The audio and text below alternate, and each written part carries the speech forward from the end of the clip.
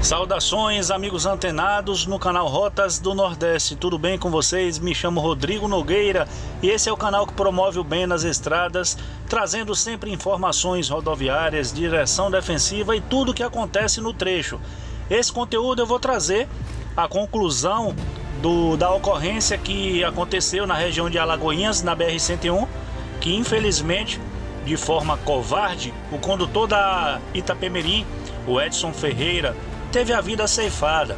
No entanto, a polícia começou a tomar algumas providências no sentido de estar tá coibindo essas ações delituosas e também buscar os responsáveis pela barbaridade. As informações que vocês verão à frente são baseadas nas postagens do perfil oficial do 4 Batalhão de Polícia Militar de Alagoinhas, Bahia. E vocês vão conferir agora.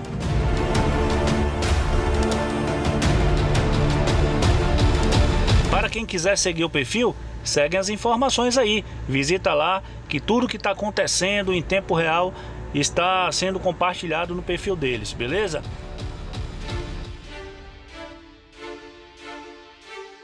Esse veículo é a Fiat Toro que foi utilizada pelos bandidos quando atiraram no ônibus da Itapemirim que infelizmente atingiu e tirou a vida do motorista. Eles compartilharam. Em Araçás, policiais do 4 Batalhão apreenderam uma arma de fogo e recuperaram um veículo roubado. Na tarde deste domingo, dia 9, policiais do 4 Batalhão foram informados por meio do SICOM de que o veículo Fiat Touro roubado no dia anterior na região de Boa União e usado no roubo ao ônibus, que culminou na morte do motorista, estaria aquele momento em local do povoado de Floresta em Araçás. As guarnições deslocaram para averiguar informação e no local foram avistados vários homens portando arma de fogo próximo ao veículo.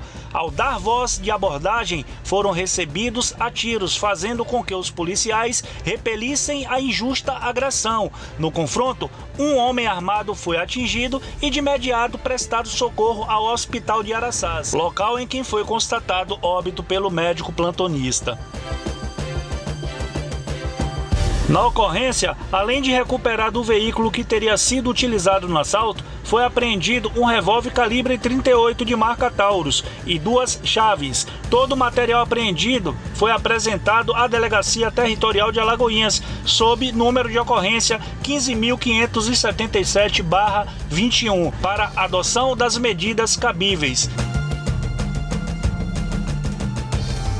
Quarto Batalhão TOR CIP, Nordeste e PRF realizam ações operacionais nas rodovias federais próximas a Alagoinhas.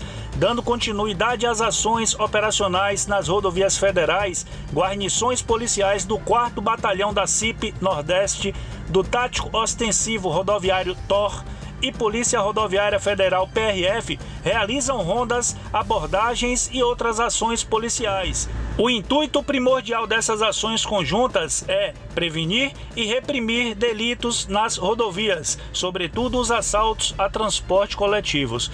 E é isso aí, pessoal. Que Deus possa estar abençoando esses policiais que de forma enérgica já estão atuando no sentido de coibir toda e qualquer possibilidade de ação delituosa nas rodovias. É isso que nós precisamos, é isso que nós, cidadãos, merecemos. Eu tenho certeza que a continuidade dessas ações operacionais irão contribuir com a nossa segurança e dessa forma passaremos a fazer viagem mais tranquilos. É isso aí. Que Deus abençoe cada um de vocês. Só trouxe esse conteúdo aqui para trazer também a informação da tratativa que está sendo feita. Tudo vai dar certo. Compartilhem com os amigos, com a família. Esse é o canal Rota dos Nordeste, trazendo a informação para cada um de vocês. Me chamo Rodrigo Nogueira. Saudações e até os próximos vídeos.